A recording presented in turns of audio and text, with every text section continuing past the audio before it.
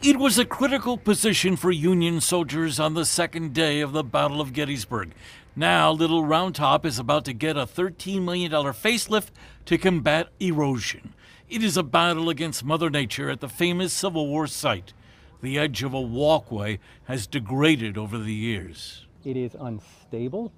Uh, there are certain sections of the walkways, the walking paths for the visitors, that are crumbling.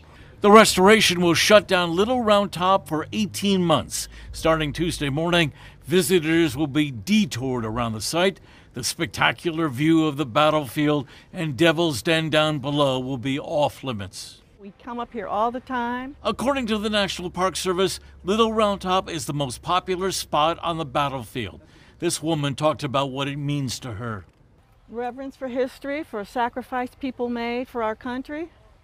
It will be sometime in 2024 when this monument will reopen. Restoration crews will be working through the summer and winter months.